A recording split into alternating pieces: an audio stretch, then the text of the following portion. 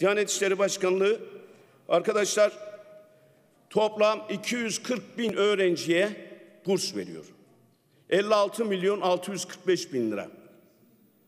Son 2015 ve 2016 yılında 23 bin 982 öğrenciye burs veriyor.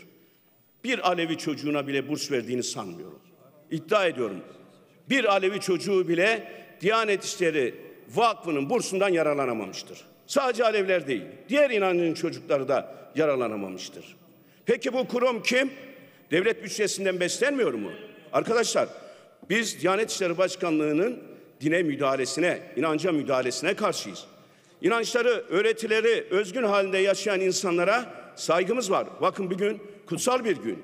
Ama siz gelip de bir kurumu, devletin kurumunu asimilasyon kurumuna dönüştürürsen, dönüştürürseniz elbette ki biz buna karşı çıkacağız. Fetva veriyorsunuz.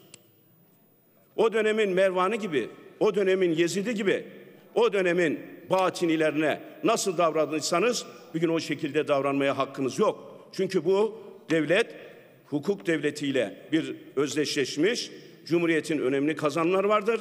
Cumhuriyet'in en önemli sigortaları laiklik anlamda, özgürlükçü laiklik anlamda ifade ediyorum. Aleviler bu işin sigortası konumda olmuştur.